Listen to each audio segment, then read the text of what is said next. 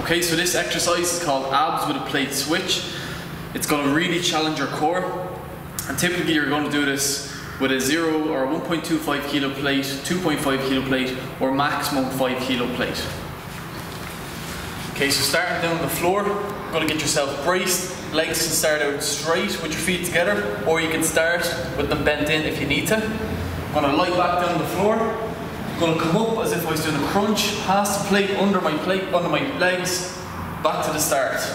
Crunch, back to the start. Trying to keep these legs as straight as I can all the time. Little bend is going to happen in the knee. And trying to keep your shoulders off the floor. Okay, so we're not coming back down here. Keeping ourselves up. So we're really working in this position the whole time. Up, switch. Extend out the legs and the body. Get tight. Okay, and typically we're going to be doing them for about 10 or 15 reps.